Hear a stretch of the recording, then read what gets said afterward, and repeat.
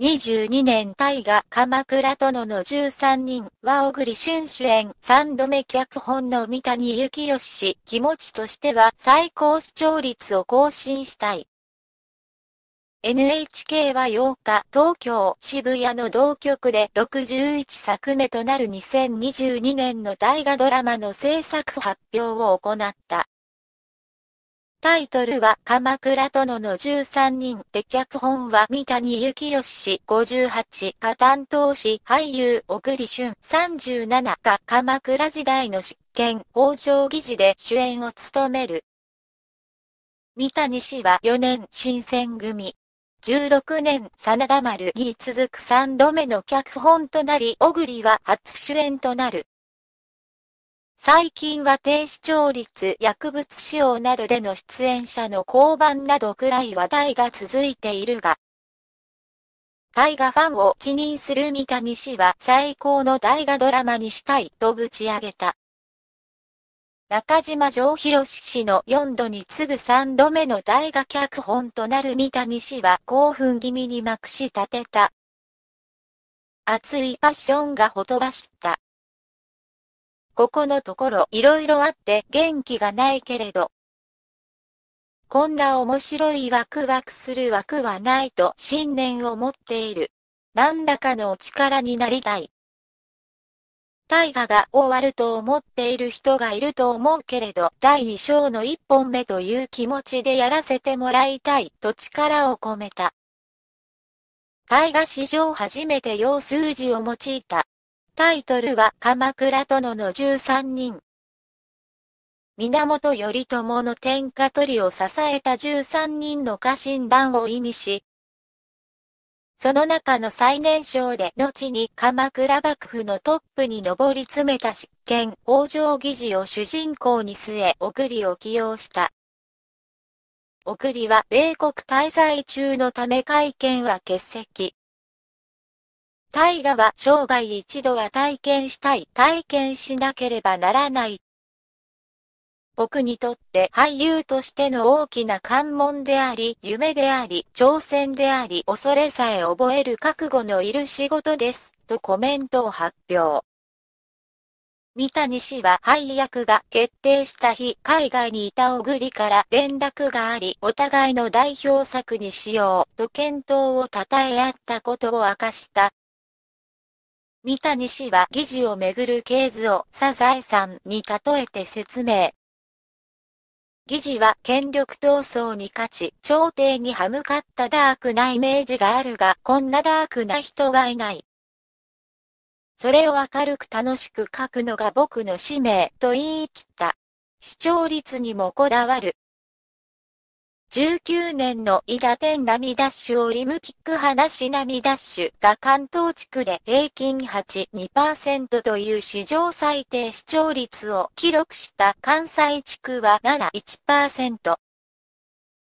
最低視聴率を更新しないのが目標と笑わせながらも気持ちとしては最高視聴率を更新したいと思いますとぶち上げた。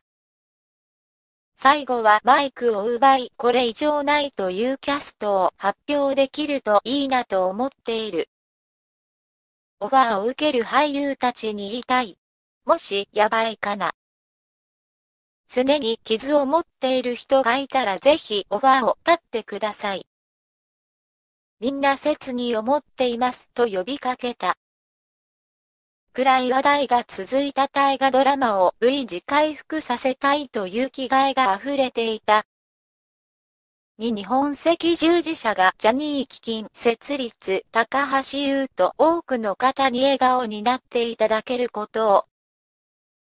日本赤十字社は8日、昨年7月に亡くなったジャニーズ事務所前社長のジャニー北川さん。去年87に金色友好賞を贈呈したことを発表した。ジャニーさんの意思によってジャニーズ事務所が5億円を寄付。それをもといにジャニー基金設立も決まった。昨年12月27日に贈呈式が行われ、ジャニーズ JR 非絶の高橋優斗20同美少年の岩崎大賞17が代理で受賞。縦際ジャニーさんの49日にあたる令和元年8月26日と刻まれた。基金は日本赤十字社医療センターで明日を担う子供と家族のため救える命を救うため、入院患者さんのクオリティオブライフの維持向上のために関する事業を人として活用。高橋は一人でも多くの方に元気で笑顔になっていただけることをジャニーさんも僕たちも願っていますとコメントを寄せた。ジャニーさんは生前から各方面への支援活動を積極的に行っていた。11年の東日本大震災発生時には自らが発起人となって所属タレント全員が参加した震災復興支援プロジェクトマージング J を展開。東京ドームで大々的な募金活動などを行った。18年7月からはジョンニー S スマイルアッププロジェクトとして引き継がれ、災害発生時に所属タレントが被災地で炊き出しを行うなど現在も事務所全体の取り組みとして続けている。三北の富士市が優勝太鼓判、帰継賞でしょう。舞の海市も絶賛、元に戻ってる。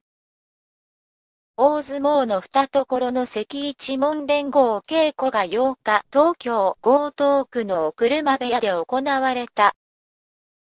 大関騎継賞23イコール地下の裏イコールは初場所12日初日両国国技館。で大関復帰を目指す関脇高安29イコール立子の裏イコールと3番稽古を行い7勝3敗。元大関を圧倒するような内容に相撲解説者北の富士勝明氏からは危継賞でしょうと優勝太鼓判の予想まで飛び出した。続く春場所での綱取りに向け7場所ぶり自身2度目の V を目指す。危継賞が何度も高安をうならせた。6日の横綱審議委員会の稽古総見で大関候補浅野さん25イコール高さ5イコールに6勝4敗と力を見せてから中1比。今度は元大関を相手に10番相撲を取り7勝3敗とした。勝ち星で圧倒しても自分の場合はあまり調子いい悪いは関係ない。いつも通りという感じ。稽古場の勝ち負けにはいつも通りあえて意識を向けなかった。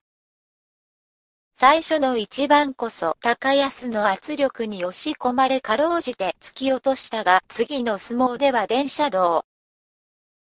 土俵際で耐えての逆転や回しを取ろうとする相手を突き放し押し出すキレの良さも光った。足の運びや突き押し、体の反応、相撲感。そういうのを意識してやった。年末年始はインフルエンザにかかり、調整への影響も心配されたが、調子はいい方だと思う、とうなずいた。稽古を見守った北の富士氏は元気じゃないの。現役大関の相撲内容を周囲も絶賛。続けて優勝は奇継賞でしょう。奇継賞。やや早めの優勝太鼓判予想まで飛び出した。てんてんてん言っちゃったとニコリ。同じく相撲解説者の舞の海氏は奇継賞も元に戻っている。膝、胸の影響もなかった。稽古上の力を出せば優勝争いに絡んでくると思うと認めた。新大関の夏場所から右膝や左大胸筋などの怪我に見舞われた昨年は優勝時点が2度。1年以上支配からは遠ざかっているが久しぶりに不安なく本場所を迎えられると臨戦態勢は整っている。自身2度目の優勝となれば続く春場所は綱取りの場所となる。最後の番付横綱になるためには優勝することしかありえない。常に優勝というものを一番貪欲に目指さないといけない年だと思っている。大関の自覚を胸に初場所を綱への架け橋とする。4ドラに紅林登場曲はベニプラン披露で名前を覚えてほしい。オリックスのドラフト2位、紅林、紅林、幸太郎内野手17イコール駿河総合高イコールが8日。他の新人11選手と大阪マイスで合同自主トレを開始。名前を覚えてほしいと一軍昇格時の打席登場曲を名前の一時から X ダッシュジャパンの紅くれないにする案を明かした。名字はクレバヤシながら学生時代のニックネームはベニ。同様に間違って読まれることも多くお父さんが好きだったという大人気ロックバンドの名曲で認知度を上げるプランを採用する。サビを聞いたことがある程度だったけど耳に残るいい曲ですよねと楽しみにした。技術面では人工芝克服が課題だ。